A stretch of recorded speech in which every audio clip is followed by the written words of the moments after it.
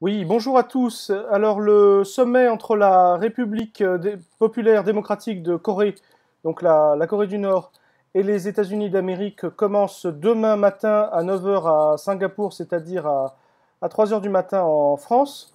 Donc il faut se réjouir bien sûr de cette désescalade hein, par rapport à, la situation générale depuis euh, un an environ hein, particulièrement et de la possibilité d'établir des contacts, un contact déjà rétabli par la visite du, grand comité de l'État qui est euh, Kim Yong-chol, reçu dans le bureau ovale euh, à Washington, ainsi que euh, la visite de Mike Pompeo à Pyongyang.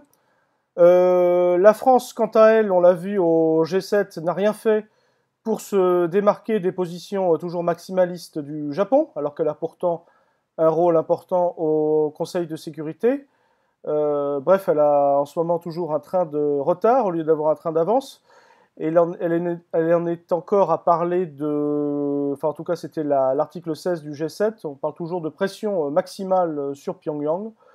à défaut de ne pouvoir faire autrement que de, suivre servilement la politique de Washington, hein, puisque c'est, je rappelle que notre président est un young leader, un, un jeune dirigeant, qu'il a été formé pour ça aux États-Unis. Bon, bah, puisque c'est euh, le président que vous vous êtes choisi, euh, mes chers compatriotes, euh, au moins pourriez-vous faire un peu plus comprendre à, nos dirigeants de se mettre au moins un petit peu à la page et de ne pas se faire plus royaliste que le roi, en tout cas un peu pas plus impérialiste que la première puissance impérialiste elle-même.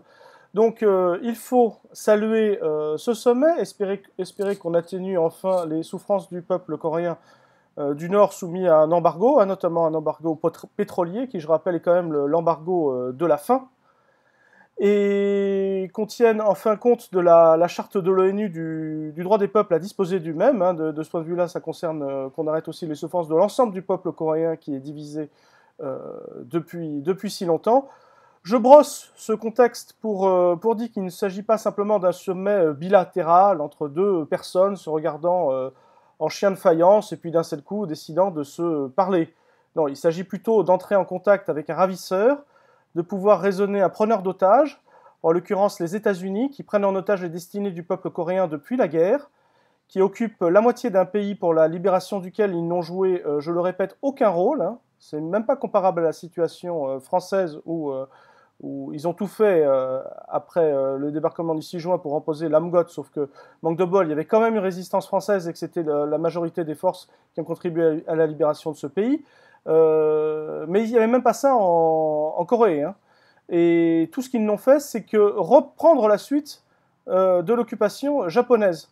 Donc c'est toujours un pays qui, impose un embargo féroce contre le Nord, renforcé depuis 2006 par d'épouvantables sanctions. Alors si c'est le dialogue, comme disait euh, Robert Charvin, l'ancien doyen de la fac de Nice, euh, dont j'ai eu l'honneur de publier Comment peut-on être coréen du Nord ça consiste à dire on vous étrangle et puis on vous dit vous avez des problèmes pour respirer. Donc c'est un pays, les États-Unis, qui impose au sud 110 bases américaines, alors que les progressistes au sud demandent le démantèlement de ces bases, la fin des exercices militaires, l'unification du pays sur un principe fédéral, euh, concerté, euh, démocratique euh, entre tous les Coréens, j'ai bien dit tous les Coréens, et surtout sans ingérence étrangère. Donc cela passe évidemment par un retour à la normale en Corée du Sud, c'est-à-dire la fin de la loi de sécurité nationale, qui est une, une loi dont le degré de répression est supérieur au macartisme. Hein. On n'est pas euh, encore dans le fascisme tout court, bien sûr, mais on est au-delà du macartisme. Hein. C'est des gens. Euh, on vient, par exemple, je donne un exemple, on vient de libérer euh, Han Sang-yoon, le président de la KCTU, le, principal, l'équivalent de la CGT sud-coréenne, pour des manifestations organisées contre l'ancienne présidente Park Geun-hye. Il avait quand même fait, entre-temps, deux ans de prison. Je rappelle que le Chebol, c'est-à-dire le conglomérat euh, Samsung, qui doit représenter à peu près 20% euh, du PIB du, sud-coréen, interdit euh, toute pratique syndicale et pratique la répression contre tout ce qui pourrait s'apparenter à une action revendicative. En Corée du Sud, le député Lee Sok-ki du Parti progressiste unifié avait été arrêté, en plus de la dissolution de ce dit parti, euh, sous de fausses accusations, et lui est toujours en prison.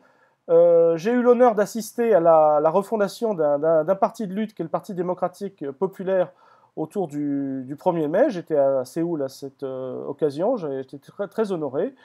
Et j'ai pu me rendre compte justement lors de manifestations du, 1er mai avec les travailleurs sud-coréens et lors de manifestations euh, devant l'ambassade américaine, j'ai pu mesurer euh, le soutien dont jouissait un tel parti auprès de la population.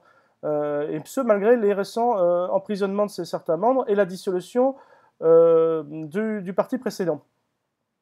Donc il est bon, il est bon d'entrer en contact avec ces céréales impérialistes que sont les États-Unis et de tenter de les raisonner. Ça, c'est tout à fait euh, juste et je salue euh, tout ce qui peut euh, aller dans ce sens.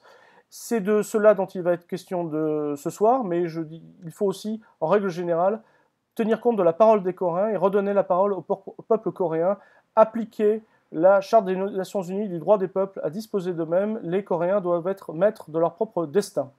Voilà, c'est tout pour ce soir. Je vous remercie pour votre attention. Au revoir.